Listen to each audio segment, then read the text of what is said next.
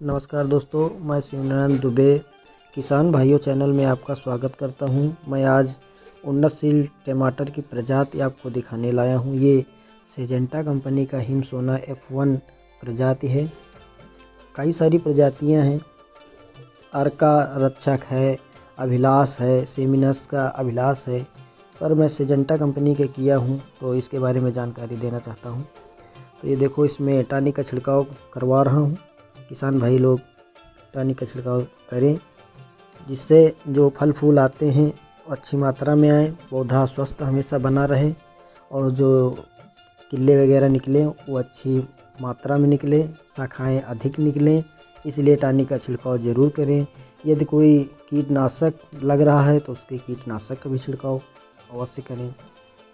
अब जो ये सेजेंटा कंपनी का Him Sona hybrid F one प्रजाति है, इसकी मैं क्वालिटी बताता हूँ।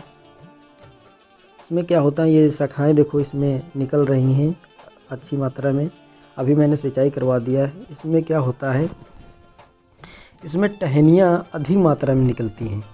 जो इसमें टहनियाँ होती हैं, अधिक मात्रा में निकलती हैं, इसीलिए इसकी दूरी अन्य टमाटरों की अपेक्षा थोड़ा अधिक लेना पड़ता है। अब टमाटर का वज़न बताया जाए तो टमाटर का वज़न 80 से 100 ग्राम प्रति टमाटर का होता है और फल का आकार मीडियम और सामान्य होता है। और इस टमाटर का खासियत तो ये होता है कि थोड़ा टाइट आता है तो मार्केट में लाने ले जाने में कोई दिक्कत नहीं होती है। और ये पैंसठ से सत्तर दिनों में प्रथम तुड़ाई करने योग्य हो जाता है और उसके बाद में हर हफ़्ते तोड़ने योग्य हो जाता है। देख लो, ये देखो, फूल कट गए हैं।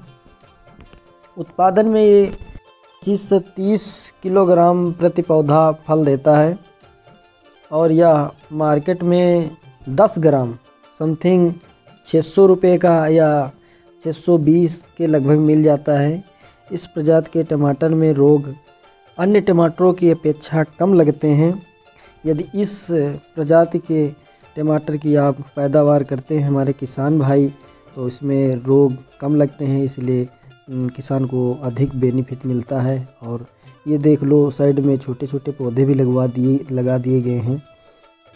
तो इससे क्या होता है, ये जो फ़सल टूटने टूटने योग्य हो जाएगी पैंसठ से सत्तर दिन में तो उसके पीछे से पंद्रह पंद्रह या दस दिन बाद ये भी फल टूटने लगेंगे तो आपको अच्छी रेट मिल जाएगी। और नई तकनीक से खेती करने के लिए हमारे चैनल को अवश्य सब्सक्राइब करें, साथ में बेल आइकन दबाना ना भूलें, जिससे नई आने वाली वीडियो आप तक सर्वप्रथम पहुँच सके। नई तकनीकी खेती आप तक हम पहुंचाते रहेंगे। धन्यवाद दोस्तों।